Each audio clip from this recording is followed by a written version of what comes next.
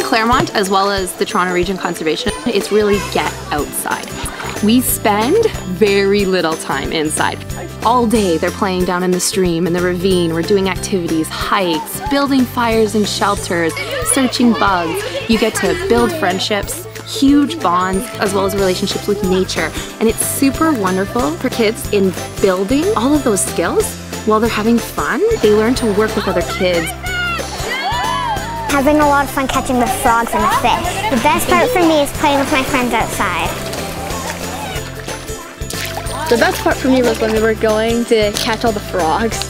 Um, the Claremont Field Center is just, it's got a lot of nature activities. It, it is really fun. At the end of the day, parents are just amazed by what they're seeing. I had a parent drop off their kids and she said to me, wow, should they have not stopped talking about camp? Should they couldn't wait to come today? They told me we don't ever want to go to any other camp next summer but this camp. Our passion for what we're doing comes out in them and just reinvigorates us because we get passionate because they're just so amazing.